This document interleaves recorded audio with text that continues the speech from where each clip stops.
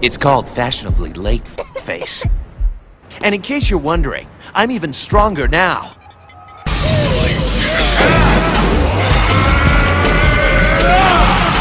Let's do this!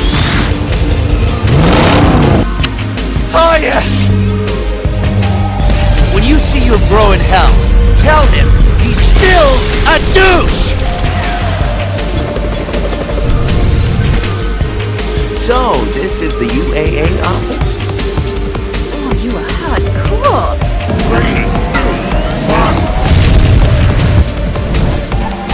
I've got a shit ton of anger to work out. If you wanted revenge, you should have come for me! Bring it on! Damn. Sylvia! People shed blood and die. This isn't a game!